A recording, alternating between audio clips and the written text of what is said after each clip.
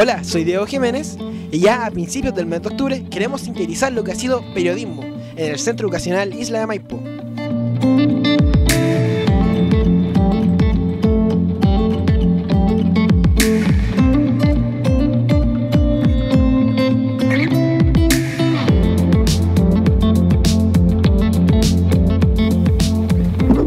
Por la nota que hizo nuestra compañera Carolina Fariad en la biblioteca del establecimiento.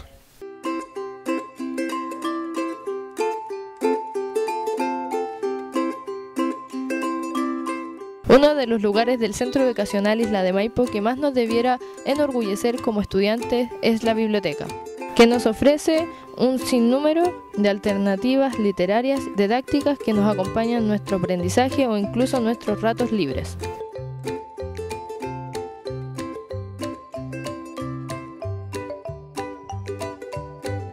O cómo olvidar el desayuno que se le hizo a los alumnos destacados en este comedor.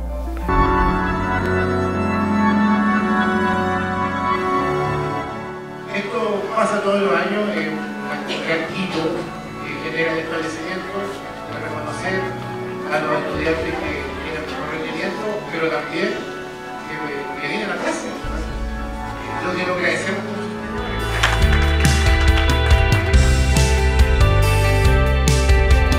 o como la reinauguración de nuestro liceo que se hizo en este patio. Soy del taller de periodismo y me encuentro en el establecimiento CEIM, donde el mes más importante que es el mes de mayo, donde se re- es la reinauguración del establecimiento. Entonces el gobierno regional, Felipe aquí ha sido uno de las personas, los precursores en ayudarnos a obtener estos recursos.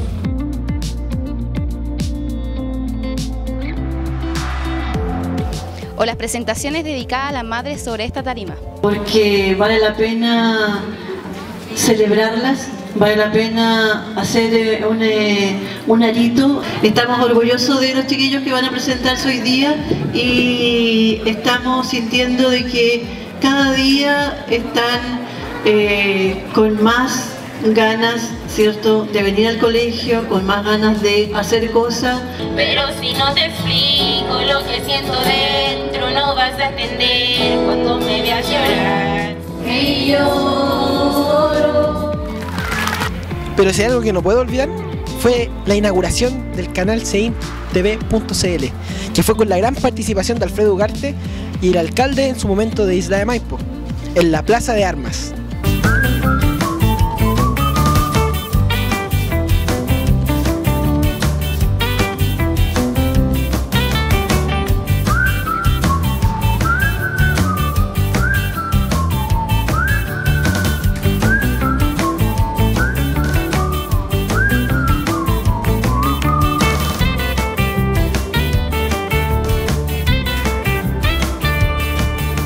Mi nombre es Melanie Olguín y los invito a ser parte y seguir la actividad del taller de periodismo Liceo CEIM.